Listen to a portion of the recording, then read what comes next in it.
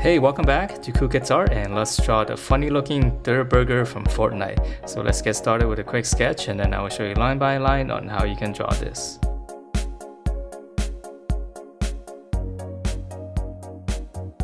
Alright, so let's draw this burger and it's actually gonna be really easy to draw. So we're just gonna start out with his eyes. So we're gonna draw two circles. So we're just gonna draw one and then another one pretty far apart. Okay, and then from there we can finish up the eyeballs. I'm just gonna draw the pupil there, just kind of like on the side a little bit. And then I'll shade it in. I think this is called the iris, right? I keep getting it mixed up. Alright, so I'm gonna shade it in again on this side. So you want to have it kind of look in different directions.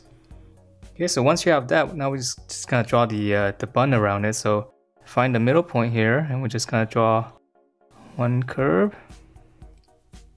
And then we're gonna continue this curve do the eye come out the other side continue this curve. Okay and then we're just gonna close it off just wrap it up for the bun on the top. Okay and then on the uh, in here underneath the eye there's gonna be just draw one curve just around the the base of it. Okay, so on this side, start from the corner and just draw a curve around it. Alright, so now that's the uh, bun on the top, so we can move on to the tongue. So right here in the middle, you can just draw one lump like this first. And then on this side, we're gonna draw another hump.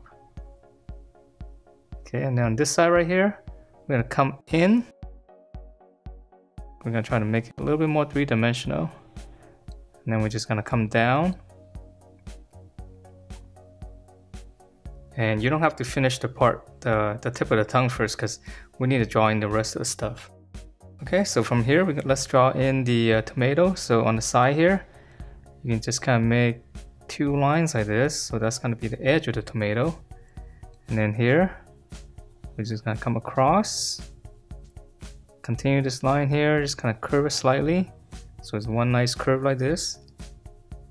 And then we're gonna draw the same thing here so we're gonna curve and just kind of meet up to that edge right there. Okay and then on this side just gonna continue that and just connect that. And it doesn't have to be all straight right because it's organic so it can be a little bit wobbly. And then any space in here just kind of go in. So it look like it's one slice of tomato. Okay so from here let's come on down and draw in the cheese. So this one's gonna be a little bit melted. So we're gonna come down a little bit more. And then this side we're gonna come out this way.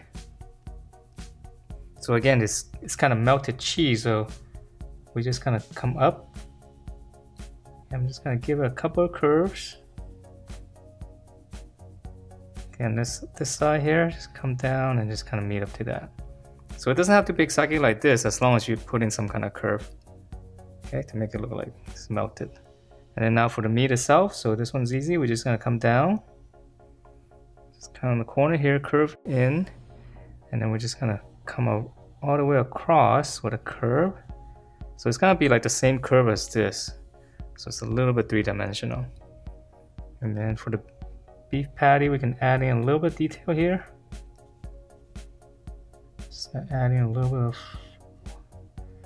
clumps. Okay, and then now we can now we can kind of finish up the, the tongue. So, because the reason why we didn't do this earlier was because you know if you make the tongue too long, then it'll look kind of funny, right? So now we know it's not gonna be too long, so we're just gonna close it off. Okay, so now let's draw in the, the bun on the bottom. So this one's easy. Just kind of curve out and then we're just gonna close it off with a nice curve just like the top curve. And that's pretty much it for the burger. And let's see oh that's a little bit of a adding these dots here. And it looks like he's got is this an olive on the top? I'm not really sure. But this one's easy. We're just gonna draw a circle.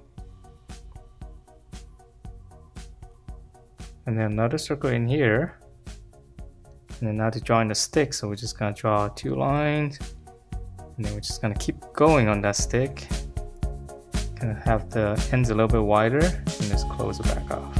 And that is it for this very easy to draw hamburger. So hope you guys like the way it turned out. And if you do, please do give me a thumbs up and I will see you next time.